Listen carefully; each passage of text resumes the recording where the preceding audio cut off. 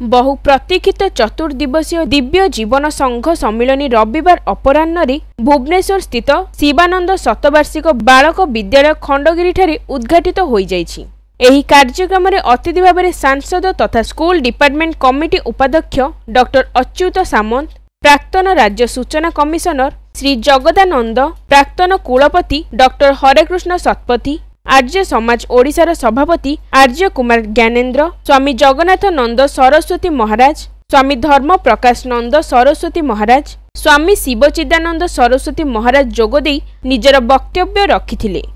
ଉତ୍କଳର ଗଜପତି ମହାରାଜ ଶ୍ରୀ ଶ୍ରୀ ଦିବ୍ୟସିଂହ ଦେବ ଆଭାସୀ ମାଧ୍ୟମରେ ଯୋଡ଼ି ହୋଇ ଏହିପରି ସମ୍ମିଳନୀର ଗୁରୁତ୍ୱ ଏବଂ ଆଜିର ନୀତିଭ୍ରଷ୍ଟ ସମାଜରେ ଏହାର ଆବଶ୍ୟକତା ସମ୍ପର୍କରେ ମୂଲ୍ୟବାନ ପରାମର୍ଶ ପ୍ରଦାନ କରିଥିଲେ। ଏହି କାର୍ଯ୍ୟକ୍ରମ ଆରମ୍ଭରେ ଭଜନ ଓ ଦିବ୍ୟ ଜୀବନ ସଂଘ ଧ୍ୱଜା ଉତ୍ତୋଳନ ବେଦ ମନ୍ତ୍ରପାଠ ଚତୁର୍ଦ୍ଧା ମୂର୍ତ୍ତି ଏବଂ ବିଶ୍ୱର ମହାନଗୁରୁ ସ୍ୱାମୀ ଶ୍ରୀ ଶିବାନନ୍ଦ ସରସ୍ୱତୀ ମହାରାଜ ଏବଂ ସ୍ୱାମୀ ଶ୍ରୀ ଚିତାନନ୍ଦ ସରସ୍ୱତୀ ମହାରାଜଙ୍କ ପ୍ରତିମୂର୍ତ୍ତିରେ ମାଲ୍ୟାର୍ପଣ ସହିତ ପ୍ରଦୀପ ପ୍ରଜ୍ୱଳନ କରାଯାଇଥିଲା। ମୁଖ୍ୟ ସଂଗଠକ ଜୟଚନ୍ଦ୍ର ନାୟକ ସାଧୁସନ୍ଥ ଓ ବିଶିଷ୍ଟ ଅତିଥିମାନଙ୍କ ପରିଚୟ ସହ କାର୍ଯ୍ୟକ୍ରମ ସମ୍ପର୍କରେ ସୂଚନା ଦେଇଥିଲେ। ଆବାହକ ଏସ୍ ଏନ୍ ତ୍ରିପାଠୀ ସ୍ୱାଗତ ଭାଷଣ ଦେଇଥିଲେ।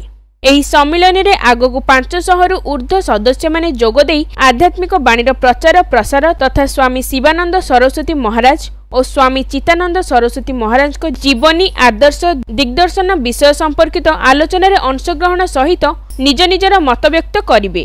ଉକ୍ତ ସମ୍ମିଳନୀ ଆସନ୍ତା ପାଞ୍ଚ ତାରିଖ ପର୍ଯ୍ୟନ୍ତ ଚାଲିବାର କାର୍ଯ୍ୟକ୍ରମ ରହିଛି। ସମ୍ମିଳନୀ ଆୟୋଜିତ ହେଇଛି।